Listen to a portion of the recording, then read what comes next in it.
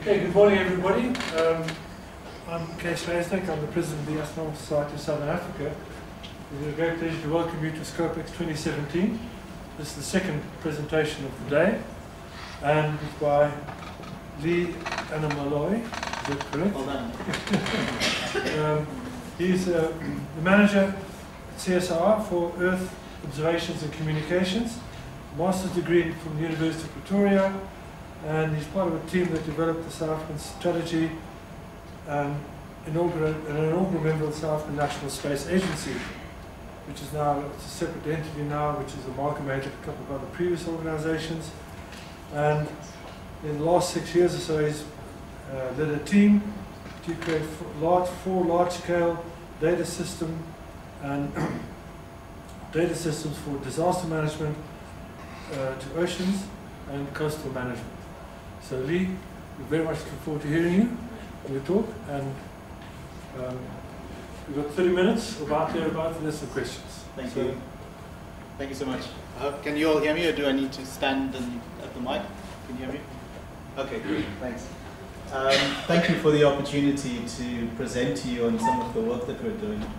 Um, I think what I'm going to present on might resonate because it's um, probably fresh in people's minds, the Knysna fire disaster and what's just happened there. It's actually probably the biggest wildfire we've had in the country. Um, at last estimates, close on to two and a half billion rands worth of damage that was caused uh, by that fire. Um, three people died, as, as far as I know. So, what we're really going to be talking about and looking at is how uh, space technology, ICT systems, computers, essentially digital disruption, uh, can play a role in. I don't think you can ever prevent those kind of events. Wildfires are a very natural phenomenon. In fact, tends to lead to unintended consequences if you try and prevent those kind of events. But definitely to reducing the damage. Um, what we would really like to do is prevent completely loss of life, of course.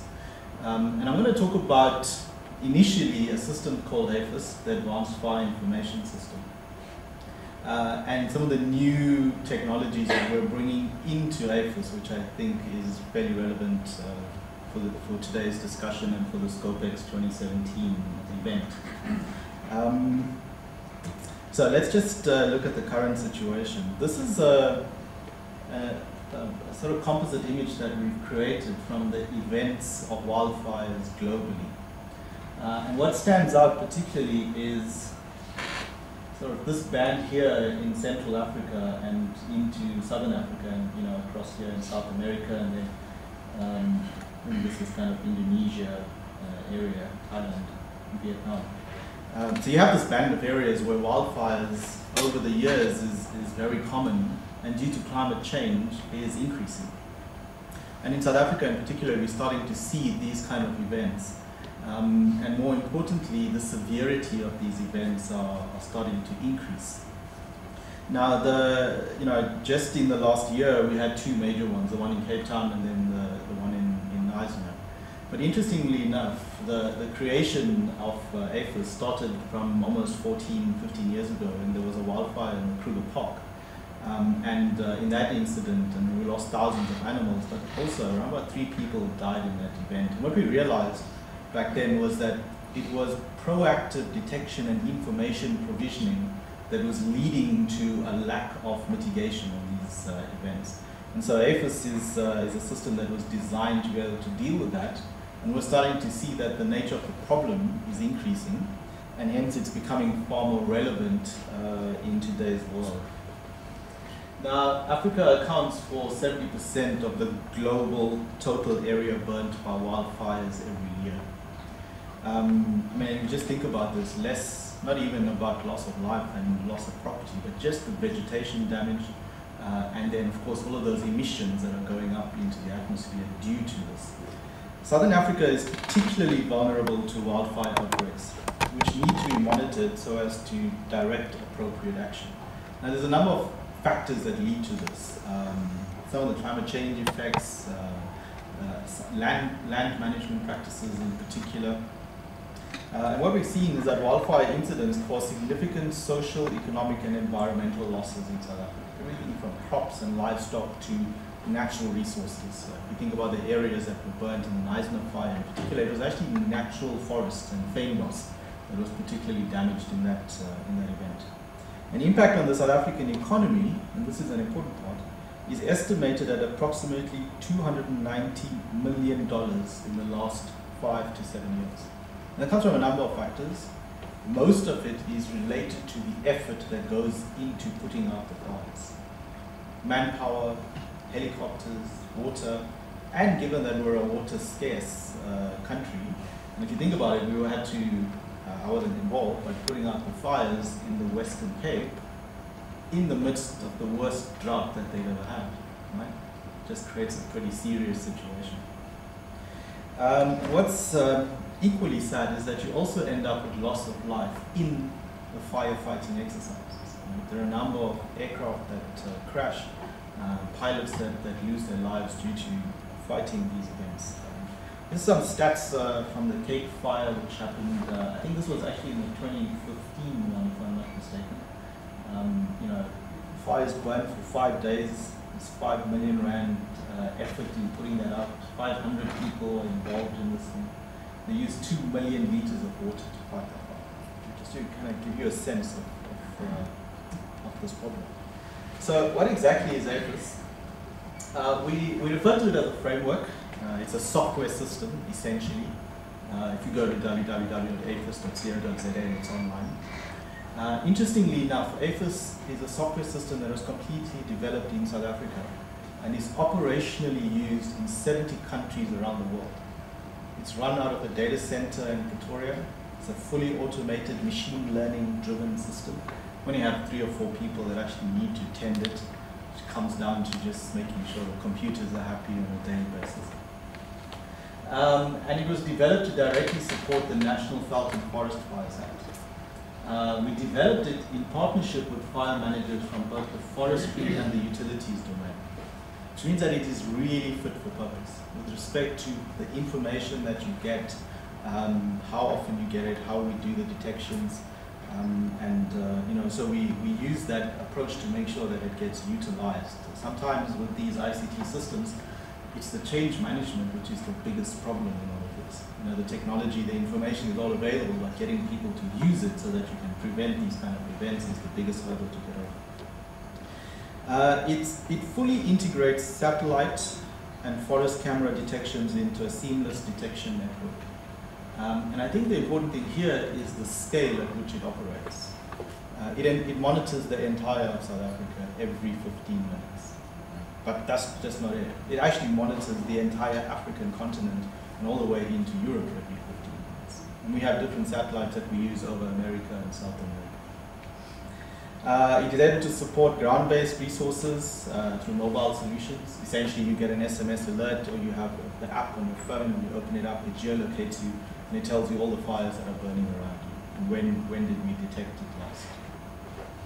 Uh, interestingly, uh, it dynamically links the fire incidences with weather and what's called the fire danger forecast. Using weather information, the, the dryness of the vegetation, we put all of that information together into a mathematical model and it gives you an indication of your ability to control that fire should a fire break out. The one thing we can't do is predict ignition. Right? It, it's very variable. It could be anything from someone throwing a cigarette butt out the window to a lightning strike. Um, so we can't predict that, but what we can do is um, increase preparedness. Because the fire danger index gives you an indication of should a fire break out, how fast that thing is going to spread. And so the better prepared you are, the more ready you are, the faster you can respond uh, and essentially try and put that fire out be before it becomes an inferno. Uh, and as I mentioned, it's a hosted software solution that runs in our data center and you know, just almost um, autonomously operates and manages and looks at what's going on. So what does AFIS do and how does it do it? Um, so we've got three components to it. The first part is called AFIS Predict, which is this proactive part. It does the five danger forecast, which I looked at now. It's, uh, it's a multi-model. So what that means is it continuously adapts to where you are. So if you're in South America, it makes use of weather information, vegetation information, and the models that are appropriate for that part of the world to be able to calculate what the index or the fire danger index should be. In South Africa, it uses three different ones, whether you're in the low Lowveld or whether you're in the Eastern Cape or the Western Cape, so that we can get the most appropriate uh, index on this. Then we forecast it forward for the next five days. Um, fire danger nowcasting, so then we take that forecast and we compare it to weather stations that are right there and we continuously adapt the model to make sure that it stays relevant. Uh, fire risk mapping, so this looks at fuel load, essentially vegetation and how dry the vegetation is. And it takes into consideration topography um, was how, what was the humidity, how dry is that vegetation, and, and it continuously calculates the risk uh, on that. Um, and then I'm just going to see if it's. Something else that we've added into the AFIS predict part we're actually able to now predict where a fire will spread to for any ignition point that might happen. Right? And then we can predict when that fire would get to particularly infrastructure or farm or somebody's house or anything of that sort. Um, AFIS detect, and I think this is the part that we're going to probably spend most of the discussion or the talk on today, right? Uh, it's multimodal, essentially we have different ways in which we do the detection. Predominantly it's satellite based. Um, we use polar orbiters as well as geostationary satellites to be able to do this detection. Uh, the dynamic fire spread modeling, which I spoke about. Uh, and then the system automatically is able to geolocate the fire and geolocate the people that are interested in this fire. So we don't spam everybody. Um, and then we send out an SMS alert only if that fire is of interest to you or may impact on you. So to give you an example, Eskom has uh, transmission lines across the entire country. And they probably have upwards of 100 different people that manage aspects of that line. So if we detect a fire in the Western Cape, uh, you know, in a particular part of the Western Cape, an SMS alert will go to the person that is responsible for that part of the fire. And if we detect something that's up in Mpumalanga, then an alert will go out to the person that's responsible for that. So you know, it doesn't just send information to everybody. Uh, crowdsourcing, which is another interesting one we were able to introduce a kind of augmented reality approach uh, to be able to detect the fires. And this came up from many times the public reports fires or incidences of fires, but they're never able to give you an accurate point of where that fire is. So then the firefighters spend a huge amount of time trying to figure out where, where, where is this thing. And often it's off. You know, the, it could be off by kilometers. So what, it, what we do is with your mobile phone and through the AFIS app, you hold it up, you turn the camera on, you point it to where the fire is. It, it automatically geolocates you and it uses the sensors in the camera to work out the, the angle where that thing is. And then it shows it on a map with some kind of contextual information. And it asks you to then estimate the distance to where it is. And we triangulate them from a number of different reports to say, well, there's the highest likelihood of where that fire is and then it gets sent back into the system, and then we take that and compare it to any of the satellite detections, right? So we try and reduce this, this down. It's actually quite an interesting app. It's, uh, well, that particular feature is becoming the primary source of fire detection uh, in the in the U.S. Uh, kind of what's that Western states in, in Oregon or that entire area. Uh, and then, of course, we are able to integrate with cameras that are used in the forestry particularly in commercial forestry, and all of this information comes into a single point. And then the last part is AFIS Assess, which is a rapid assessment of the area that was burned, the, the vegetation that was damaged. Um, we run a 30-year archive of data, and we're able to look over time how these fire behavior is changing and what's going on in there. Uh, and from that also are able to determine areas that are of high risk, because generally areas that have not burnt uh, and are not built up uh, are essentially increasing in their fuel load or the amount of vegetation that is there, then we're able to use that to adjust the risk model. Okay, a picture to describe all of that. Should have probably started with this.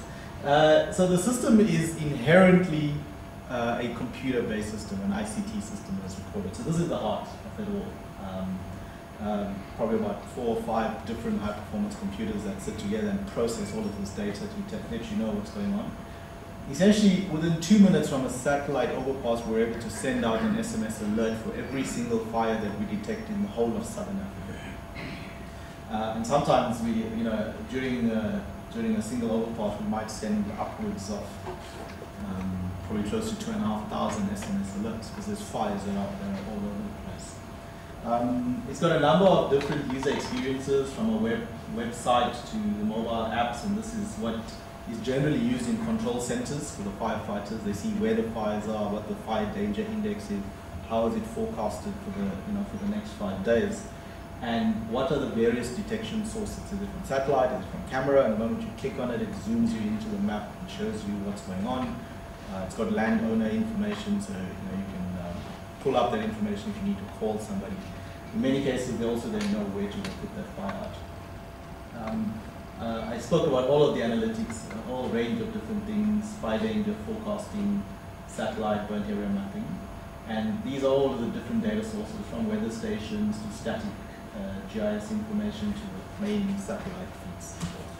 All right, um, so this is why we use the different satellites. Uh, and this is kind of the key important thing here. It's about the size of fires that we can detect and how often we're able to detect them. Um, so the geostationaries, which are running at 15 minutes, are able to, to only pick up fairly big fires. So the active component on that satellite, an infrared sensor essentially, um, has, a, has a detection area of 4 kilometers. Uh, but essentially what we picked up, picked up is that a fire needs to grow to just over 500 meters to a kilometer in size for it to have enough energy to trigger. So, so those are pretty, pretty big fires. Um, then we have the, the two polar orbiters, uh, which is a one kilometer pixel and a 375 meter pixel. So this, this one here, which is the highest resolution, means that we can detect fires between 50 to 100 meters. Uh, and you can see that as you improve what we call the detection resolution, the better you're able to discriminate what's going on on that fire. And, and here in particular, is we, we call this the fire front.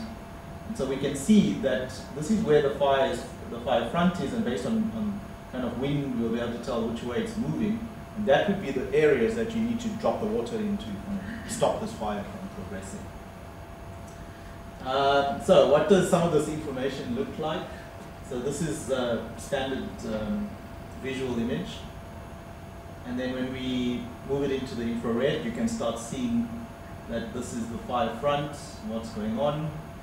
Um, and then when you move it into the kind of shortwave infrared, you can actually start seeing the extent of the fire and what's going on. Interestingly enough, the, the sensitivity of the satellites have gotten to the level now where we can actually see the heat cloud that, that's coming off those off that fire, what that's because that then tends to adjust, uh, change weather weather patterns as well. Right. So um, what we find, I mean, the main issue in all of this is how often can we detect fires and how early can we pick them up. Right? So essentially. Uh, the fires are small in size, and is the satellite over the area that, that we want to be able to de detect where the fires are. And so, uh, and of course, in the previous ones, all those satellites are not even owned by us. Those are NASA satellites, European Space Agency satellites, sometimes they're commercial satellites. Uh, and in South Africa, we've had a growing capability in satellite construction and satellite engineering.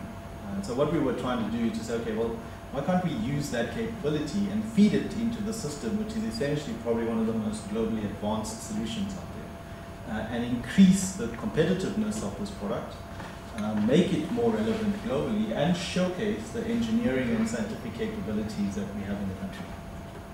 So we conceptualized what's called AFIS Fireflies, which is a constellation of nanosatellites with fairly novel sensor technology which enables us to detect wildfires.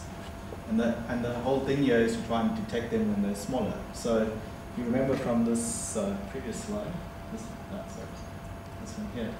Was, that's the highest resolution we've got currently, which is a pixel size of 375 meters. And what we're trying to do now is to get it to 60 to 90 meters.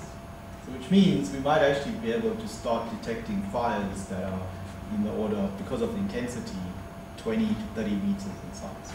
I don't think we'll ever get to detecting when you're having a bribe. okay, uh, so what's the concept? We're using nanosatellites that are going to be built by CPUT, Cape Peninsula University of Technology. But the active part, the, the actual camera technology is being developed and built by the CSIR. Uh, and what we want to do is provide a system that complements existing fire detection infrastructure and equipment, so we'll plug it into all of those other satellites that we're using. We want to get to a constellation of these low-cost satellites that can produce data with both this high spatial resolution, i.e. the smallest size um, footprint on the ground, and high temporals. And that means how often are we able to detect it. So that's why we're going into a constellation. The whole aim is we have a satellite that's looking at you know any part of the Earth, or at least any of the land part, every hour, and being able to detect fires at 60 meters uh, or larger. This is what it will look like. That's a, a 30 centimeter long, almost the size of a loaf of bread actually. Um, and this part here is the, is the camera component. Uh, this is the radio aspects, and this particular one, which is the, the first part of the satellite, or the first of the constellation, um, is actually going to have two parts of it. It both will detect vessel traffic in the ocean, as well as have these cameras that enable us to look at, look at fires. Um, so the FireSat, it's operating at two very narrow spectral bands. It's designed to detect and discriminate emissions. So what we're going to look at now is kind of the chemical emissions that, that come off the vegetation when it burns. So this means that we can move to a, to a very low cost solution instead of trying to use thermal infrared to, to detect the fires. Uh, the, the satellite will fly between 500 to 600 kilometers, so it's above the International Space Station but it's still low enough for us to be able to get the kind of detection accuracies that we want. The first mission will be in space in January 2018, and then the next one March 2019, and then another two in March 2020. So we'll probably get to four. If we push our luck, maybe we'll get it up to five or six of these. Uh, okay, just some science um, show what the emissions look like. Uh, we were looking at a at a, at a burning flame over there. Uh, and we were just essentially testing the feasibility and trying to optimize how the sensor will be able to work for us to detect. Uh, then there's some engineering with respect to the, the, cameras and the satellite. So it's a self-contained unit and it conforms to CubeSat standards. So what that means is this, just this component here, uh, if I go back, this, this bottom, uh, bottom part here, is a 10 centimeter by 10 centimeter cube so it's actually pretty small in compact. Um, there's dual, images uh, dual image sensors with a 50 millimeter fixed focal lens. We've had to look at very careful alignment between the lenses and the sensors. So 1.3 megapixel near infrared sensor.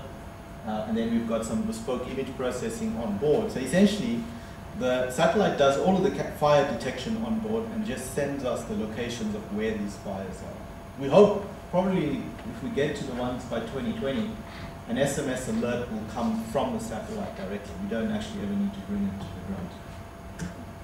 Um, a little bit more on the, on the imager payload. So as I said, it's about a 63.6 meter pixel resolution from an altitude of 600 kilometers. So if the satellite comes down a little bit, we'll be able to increase that. Uh, orbit period of 96.7 minutes. Right, so uh, that's how often it's going to be going around. Uh, that's how fast it's going to be moving, roughly 6 point, that's actually 6,900 kilometers per second. Um, we're going to be capturing 75 megabytes of uncompressed images per pass, and it'll take us about two minutes to be able to download that to the ground. Uh, the payload consumes less than 2 watts of power, and it's running an embedded Linux operating system. Okay, that's just some pictures of what it looks like. It's ready. It's actually ready to go. Um, it's starting to be integrated into the satellite bus, um, and there's just some some last testing and things that we need to do.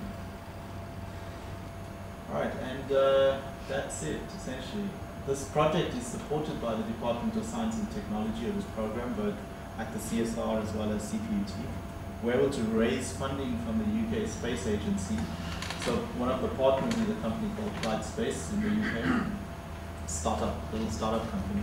Um, and uh, the UK Space Agency is helping us to put up the, the constellation. So through DST's funding, we were able to uh, test it, improve this concept, and then the Space Agency will essentially enable us to scale it up to the four or five satellites. I think what's quite important is that it's the first time that anyone's ever tried to do this. To put it into perspective, NASA um, has put out some proposals to put up fire satellite and they were in the order of 250 to 300 million US dollars. We're building each satellite for just over two and a half million rands launched in space. Thank you.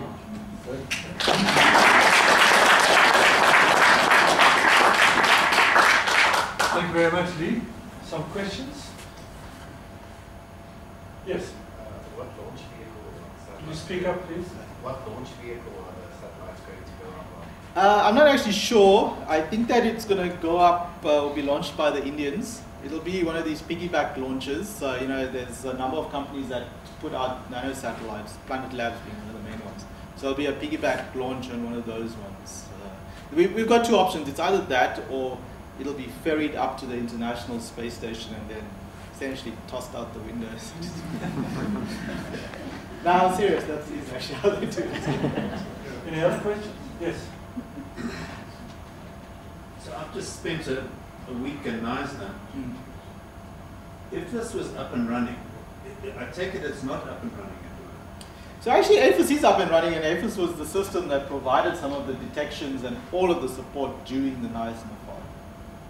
Okay, so one of the theories is that the a fire was brewing in the forests for a while, um, caused by a lightning strike, and then the heavy, the, the very strong winds spread it. Would you have been able to pick up something like that smaller smoldering fire?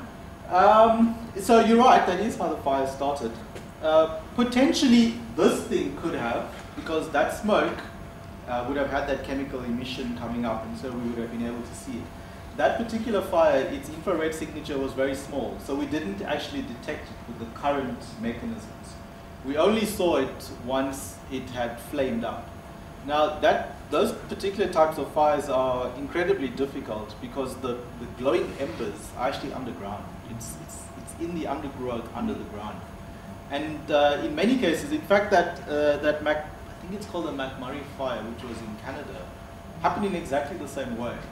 Those things are very, it's almost impossible to detect that because it's, it's buried underground and you just need, you know, the, the weather conditions and the vegetation conditions to be right at the right time and then it flares, flares up again. So last week we watched the um, evacuation process going on in Florida mm. in, in the part of the um, hurricane that was on its way. And they evacuated 7 million people in time and put curfews in the town and what have you. I mean, even if you even if you detect the fire, have you got the capabilities of warning the people in time? I mean, some of those people were cooked in their houses. Yeah, there were there were two people that uh, died in that fire, and they were the ones that were right at the essentially where that uh, where that fire started. Uh, for all of the rest, yes, they were they were evacuated. We were able to show where the fire was spreading to, um, how fast it was moving. So yeah, we can do that. It is possible. I think the damage could have, well, the loss of life could have been far more intense or worse. The fire was burning very, very fast, exacerbated by the drought conditions, the growth. The, I think that the main issue in all of that was Back in 2011, 2012, there was a study that was done uh, that showed the, the undergrowth of the vegetation increase in many parts of the Fynbos area, the Fynbos biome as we call it. And uh, nothing's being done about that. That's actually the issue. It's the vegetation load, the fuel load that's continuously increasing, and that comes from a combination of factors. Um, that is the key thing that needs to be managed. That together with alien invasive vegetation in, in many parts of that causing that issue. And when those fynbos, when it grows, it's got a very, it's got a, a you know, uh, you know, you can, it's almost, you can set your clock by this thing. Every 10 years the fynbos will burn. Uh, and you just got to manage that fuel load. You can't stop it. In fact, if you stop it, you'll have a big problem because the fynbos, which is a natural uh, vegetation, it's in fact, it's part of our heritage, uh, requires fire for germination. Right? So, so you, you can't stop this thing, you have to have it. Uh, but it's about managing that fuel load because the oils in the fynbos is what causes the issue. When that thing starts burning, it burns really, really fast and very hot. Okay, thank you. Yes? What is the power source on these satellites? Solar. predominantly. Okay. Yeah. Predominantly. And a connection with fire out in the wilderness and we, the mountain was burning opposite my house. And it went underground and it actually burnt there for a month. And I came and bombed it about five times and we just couldn't, I couldn't get to the, to the embers underneath the ground. At last, we had 50 millimeters rain last night, so it's, mm-hmm. Yeah, you need you need the landowner support as well because those kind of fires require people to get in there. well, we, steep slope. That's the other issue. Any more questions? So you can just go onto the App Store, whether it's iOS store or Android. Yeah. Just search for it first. You find the app, download it, and you can you can use it. Okay. Lee, thank you very much indeed.